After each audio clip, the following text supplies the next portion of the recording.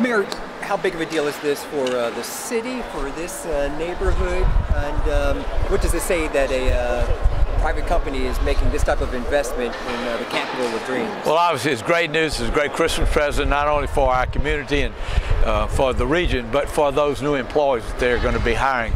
Uh, close to 40 new employees to join another 250 that are already here to come into an 850,000 square foot to spend 35 plus million bucks.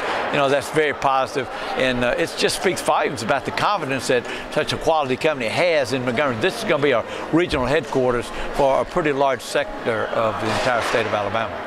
I know that, that we've been doing very good uh, bringing in rank and file manufacturing jobs, but the, the need to have a corporate headquarters and regional headquarters. Uh, why is that important for? Well, regional, you know, corporate and regional headquarters uh, have more night stays because people coming in, they travel more, so you use airports, things like that. So it's always important. But uh, in this particular case, uh, we we we have bragging rights that you know Central and South Alabama in the northern panel of Florida are being distributed right here from Montgomery, Alabama. Good deal. Thank you so much. Congratulations. Oh.